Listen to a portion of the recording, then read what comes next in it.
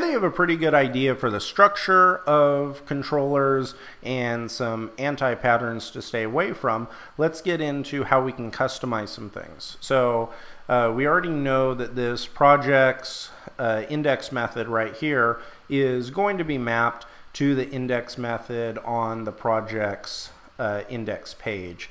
So it looks like I have the server running.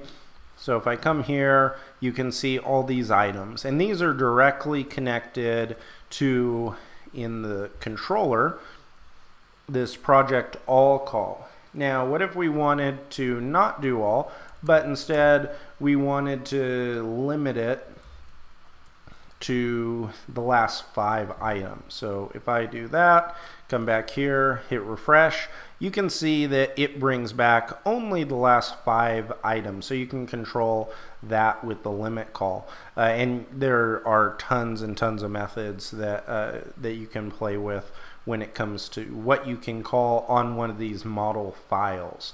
Another one, and this is a little bit of review because we did a lot of this inside of the controller, so what if I wanted to do a title and only bring back the titles that say project 1?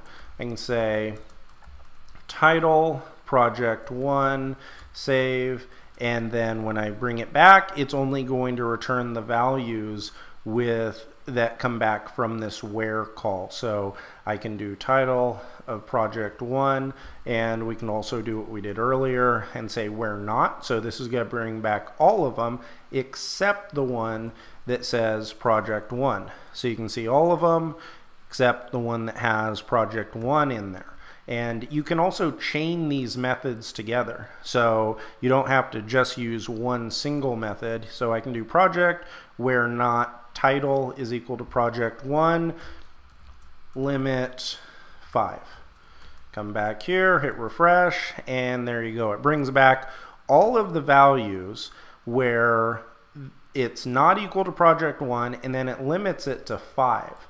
And if we come back here in the controller or in the uh, in our terminal, you can see here in the log that this performed a, a, a SQL call right here. So it ran a select statement on projects from where projects have or is not equal to, you can see not equal to right here, title project one, and then it's limiting it to five. So even though you may not have to type direct SQL into your call, Active Record will go and generate the properly formed SQL for you, which is a really nice thing because if anyone's familiar with SQL, you know it can get a little bit messy and unwieldy. So this is a great way of, uh, of being able to use method calls that generate the SQL for you. So I'm going to switch this back to all. Another good example would be, say that you were creating this project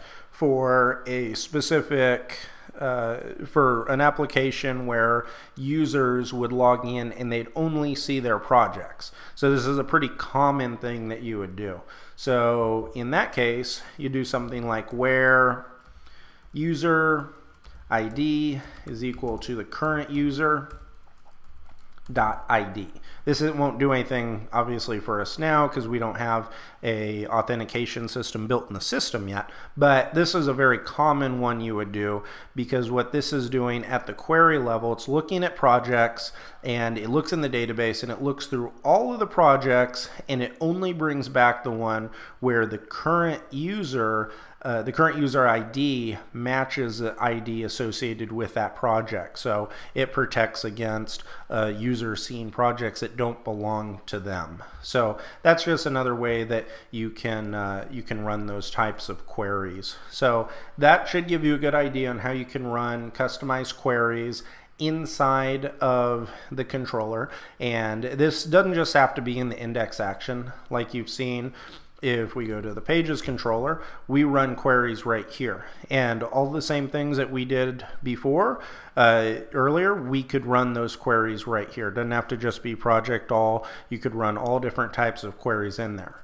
Now, one thing to note is as easy as it is to run these queries inside of the index method and inside the controller, I've seen queries and some of these active record calls that can get really messy where you could have a couple if else statements and all of that lined up in the index action, and that can get a little bit ugly from a code perspective. So, what you'll do then, and what we'll get into uh, in some upcoming episodes, is being able to integrate what are called scopes and scopes are actually placed inside the model file and that's where you can create methods that will scope out your queries and then you can just call with one word what that query is inside the controller method and make your code even look a lot cleaner. So we'll get into the, how to do that later, but this should give you a good idea on how you can